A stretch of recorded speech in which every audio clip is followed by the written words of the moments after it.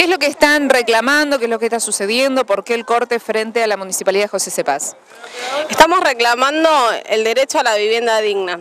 Nosotros somos un barrio que se empezó a, formar a partir del 17 de enero del 2012.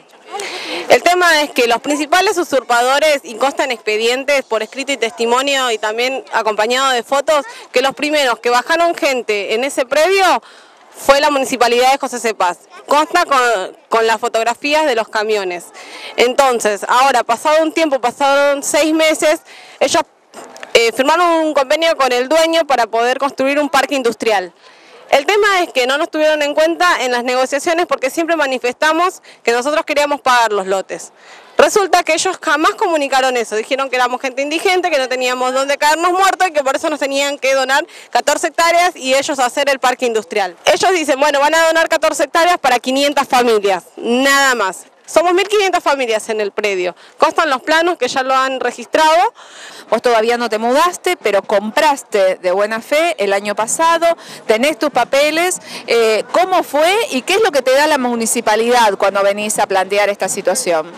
Y eso es lo que quiero saber, no entiendo nada, porque están haciendo todo eso y yo tengo personas que trabajan ahí, lo que compré el terreno y no sé qué hacer ahora, porque estoy gastando mucha plata. ¿Me entendés lo que te digo? Pero vos viniste a dónde con que te dieron este papel? Esos papel me dieron solamente fotocopia, que me quede tranquila, que no va a pasar nada porque ya firmaron el papel. Que es un papel de, ahora lo vamos a mostrar, que es un acta de conformidad de relocalización. O sea, vos la municipalidad te promete que te va a reubicar, algo así. Claro, eso, eso es lo que me dijeron, que me quede tranquila. Y yo no sé, me estoy preocupando con eso porque tengo un chico de dos años y ¿qué hago? ¿Y quién me responde después la plata que estoy gastando? ¿Cuánto invertiste ya entre la compra y la casa que estás construyendo? Ponele 80. 80 mil pesos. Y ahora tengo materiales de más o menos 10 mil pesos que tengo que recibir hoy. ¿Qué hago? Eso necesito saber, ¿qué hago? Antonio, además de todo lo que ustedes están reclamando con respecto a los derechos de, vivienda, de poder permanecer en las tierras que en su momento se ocuparon pacíficamente y que muchos de ustedes compraron, hoy en el medio de la protesta tuviste reacciones eh, xenófobas eh, por parte de funcionarios de esta municipalidad. Sí, efectivamente, cuando nosotros los compañeros fuimos a cerrar el portón lateral, cuando acá nosotros eh, con grito y todos nos, oíamos acá en el frente, fuimos a cerrar el portón de, atrás, laterales, que, y vino un funcionario de la municipalidad, eh, me escoquilló fuerte y me dicen, váyase paraguayo de mierda a gritar en tu país. Eh, acabamos de hablar con el secretario de gobierno, con Mario Lopardo, y que nos puso en comunicación con Pauletti. Y también en voz alta... Eh, recordemos quién es Pauletti. Oscar Pauletti es el apoderado del municipio, que es el que está llevando el caso de la compra de los lotes para eh, hacer el parque industrial.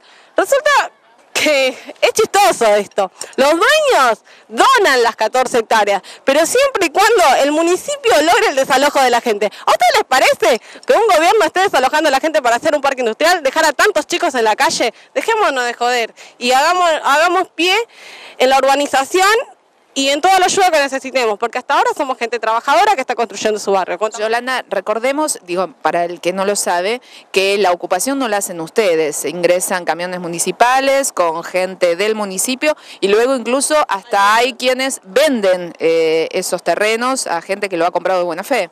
Sí, sí, consta en el expediente mismo que los primeros que hicieron la usurpación bajaron de camiones del municipio, ellos mismos limpiaron las calles para que la gente siga usurpando. Dicen que van a tener en cuenta a los que, a los que están en, los tres censos.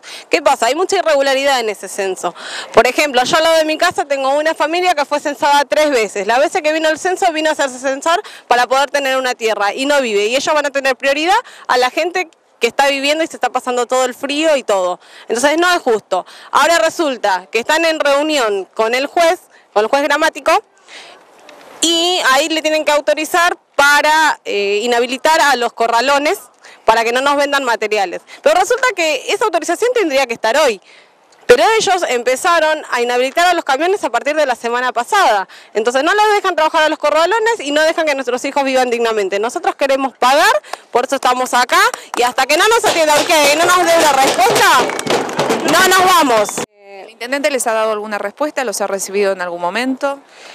En una instancia del previo al principio sí les dijeron que estaba con, no a mí precisamente, yo no estuve en esa reunión, que se iba a relocalizar a la gente, que se iba les iban a dar un terreno en la mitad del campo, pero resulta que pasó el tiempo, volvimos a querer comunicarnos con él, no nos volvió a recibir.